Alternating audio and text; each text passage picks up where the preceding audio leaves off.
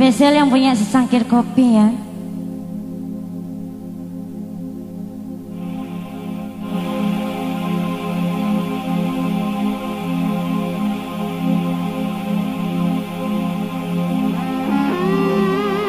Kenapa Bapak?